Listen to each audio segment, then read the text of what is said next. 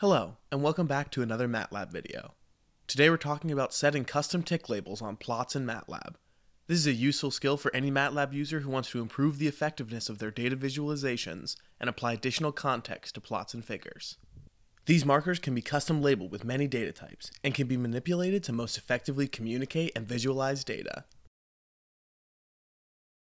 The first method for setting custom tick labels is through the xTickLabel function.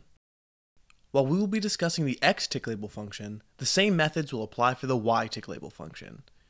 Passing a set of values to the xTickLabel function will label the ticks in order of the given values.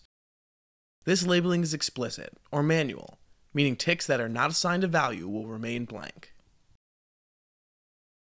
The second method of setting custom tick labels is using dot notation. To use dot notation for tick labels, you must first assign the axes to a handle. This is done by setting the desired handle to GCA. GCA selects the current set of axes, typically those in the most recently created plot.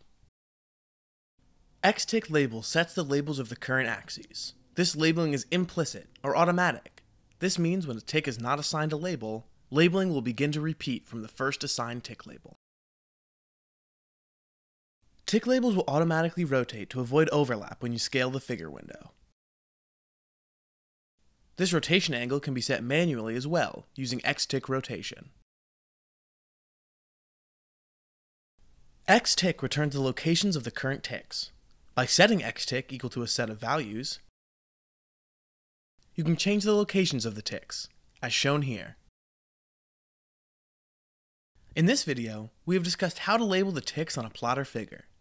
Now that we know how to set custom tick labels, we can make more effective visualizations of data. Thanks for watching, and I'll see you in another video.